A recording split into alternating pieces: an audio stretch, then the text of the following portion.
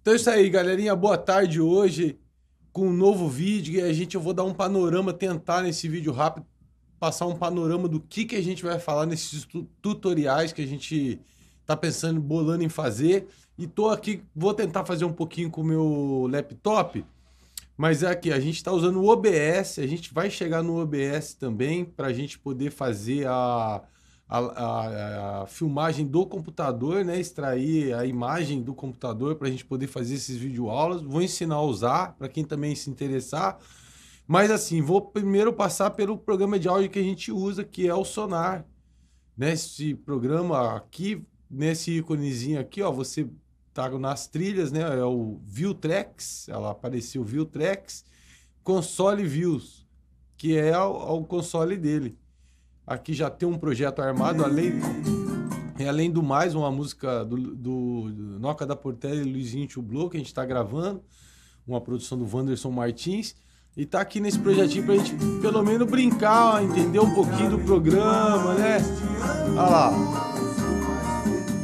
Aqui você renomeia os canais, aqui dá para selecionar tudo só passando o mouse. Várias dicas eu vou dar sobre o Sonar 7 Ouvir um pouquinho do som.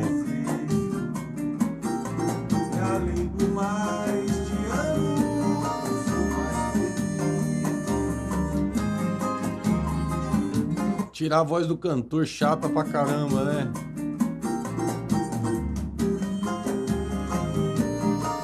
Aí. Os plugins, como insertar.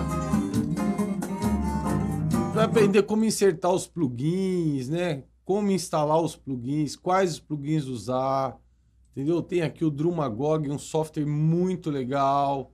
Então a gente vai estar tá passando por tudo isso. O computador da Zinzin está um pouquinho lento, né? Olha lá, mas abriu o Drumagog, ver como é que é esse modulador de som.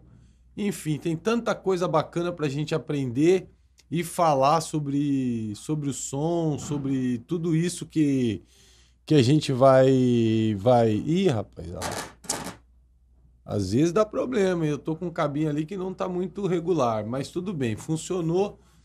É...